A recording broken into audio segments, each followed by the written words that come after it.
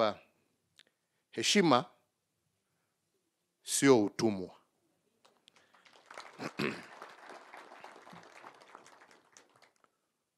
Mzee Moi alikuwa mtu wa heshima. Alitumikia mzee wangu miaka kumi na saba kwa heshima kubwa sana sana, mpaka wakati wake ukafika,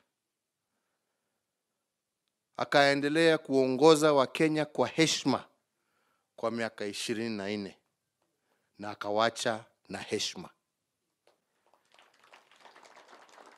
Akakuwa, hesh, akakuwa na heshima na yule ambaye alimfuatilia hata kama haikuwa choice yake, akakuwa na heshima na mzee Mwai Kibaki.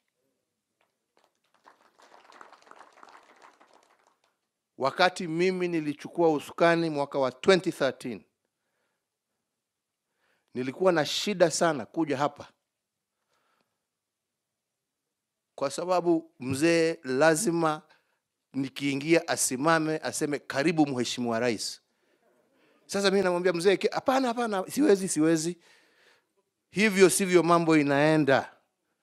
Sasa wewe ndio uko na serikali, wewe ndio kiongozi, hata mimi lazima nikuheshimu.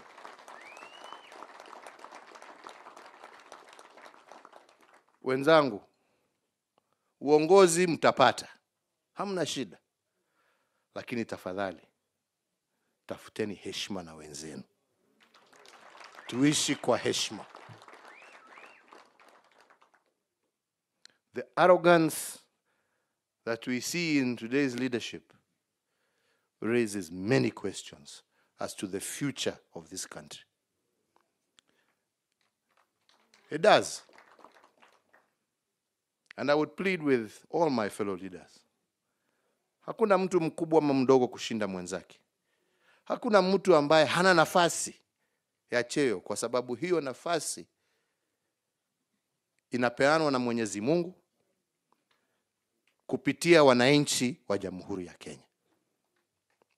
Kwa hivyo hata ukitukana nani namna gani, hata ukifanya nini kwa nani, hata ukiwa na hasira ya aina gani, hiyo haitasaidia. Lakini heshima na unyenyekevu na utulivu wako Mwenyezi Mungu atakuonea.